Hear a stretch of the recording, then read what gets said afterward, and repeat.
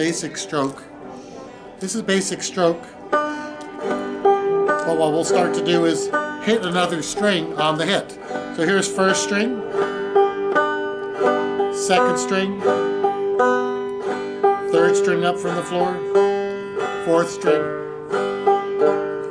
third, second, first. Then you, then you can just do whichever order you want.